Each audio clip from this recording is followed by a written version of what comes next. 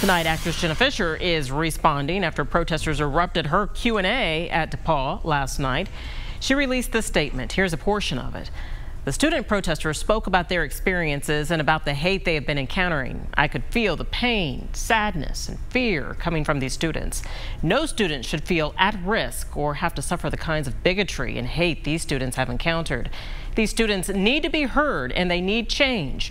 In light of last night's events, using the full amount I was paid by the university, I will be making equal donations to the NAACP, the Anti-Defamation League, and the Trevor Project in the name of the students of DePauw University.